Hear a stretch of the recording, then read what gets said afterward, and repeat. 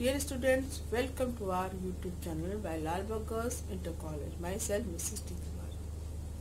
बच्चों हम लोग का चैप्टर चल रहा है संक्रामक रोगों का नियंत्रण इसमें हम लोगों ने संक्रामक रोग क्या होते हैं संक्रमण क्या होता है संक्रामक रोग कैसे फैलते हैं संक्रामक रोग किन किन माध्यमों से फैलते हैं विभिन्न संक्रामक रोगों की उद्भवन काल क्या होता है या संप्राप्ति काल क्या होता है आज हम लोग संक्रामक रोगों की रोकथाम के उपाय के बारे में पढ़ेंगे।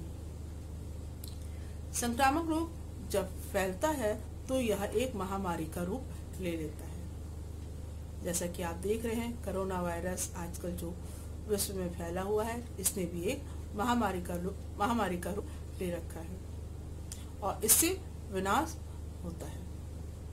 इसलिए संक्रामक रोगों की रोकथाम के उपाय प्रारंभ से ही करना चाहिए। इस प्रकार के कुछ उपाय निम्नलिखित हैं। नंबर वन, समुचित रूप से सूचना।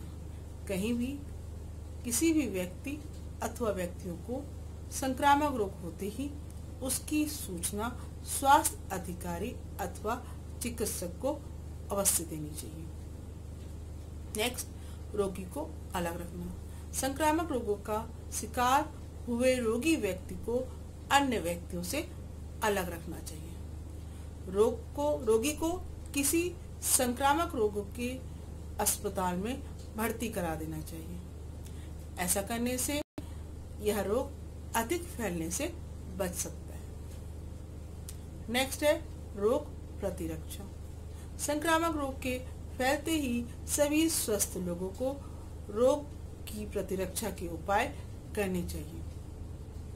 अब प्राय सभी संक्रामक संक्रामक रोगों से बचने के लिए टीके लगवाए जाते हैं। सभी स्वस्थ व्यक्तियों को ऐसे टीके अवश्य लगवाने चाहिए।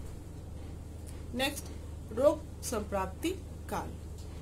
संक्रामक रोगों के फैलने पर यदि किसी व्यक्ति को रोग लगने की आशंका हो तो कुछ समय के लिए उसको अलग करके उसका निरीक्षण करना चाहिए।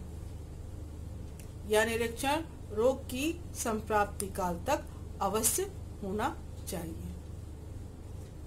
नेक्स्ट है रोगाणुनाशक। संक्रामक रोगों की रोकथाम के लिए रोग के रोगाणु को नष्ट करना भी आवश्यक होता है। रोगाणु को नष्ट करने के लिए भिन्न भिन्न उपाय किए जा सकते हैं।